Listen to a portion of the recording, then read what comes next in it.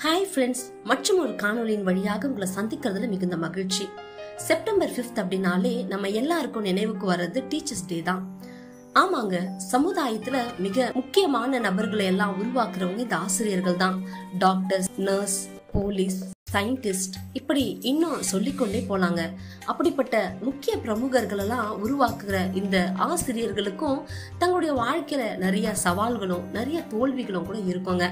அதையெல்லாம் மீறி ஒரு சமுதாயத்துல ஒரு சிறந்த மாணவனை உருவாக்கணும் அப்படின்னு சொல்லி ஒவ்வொரு நாளும் அவங்க முயற்சி எடுத்து அந்த முயற்சியின் பலனாதான் இப்படிப்பட்ட சிறந்த தலைவர்களையும் நல்ல நபர்களையும் நம்ம தேசத்துல உருவாக்குறாங்க. வேதத்துல பார்த்தோம் அப்படின்னா நம்முடைய ஆண்டவராகி இயேசு கிறிஸ்து கூட ஒரு சிறந்த ஆசிரியர் தான்.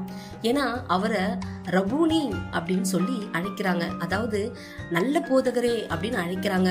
இன்னைக்கு நம்ம சமுதாயத்துல அநேகம் பேர் இருக்கலாம். ஆனா இயேசுவை போல ஒரு நல்ல போதகர் யாராலையும் பார்க்க முடியாது. ஏன்னா அவர் தான் வாழ்ந்தது மட்டுமல்ல.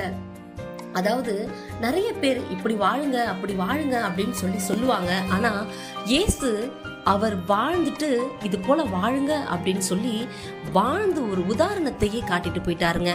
ஸோ வழி காட்டுறவங்க நிறைய பேர் இருக்கலாம். ஆனா வாழ்ந்து காட்டினவர் இயேசு மட்டும்தான். அப்படிப்பட்ட இயேசுவின் அடிச்சுவடுகளை பின்பற்றுகிற நாம் இயேசு எப்படி அதிகாரமுடையவராய் போதித்தாரோ அன்புடையவராய் போதித்தாரோ? மக்களுக்கு புரிகிற வகையில எளிமையா உவமைகளையும் எடுத்துக்காட்டுகளையும் சொல்லி போதித்தாரோ? நாமும் அதுபோல நம் பின்வரும் சந்ததிக்கு போதிப்போம். நல்ல காரியத்தை யார் சொன்னாலும் தப்பில்லைங்க.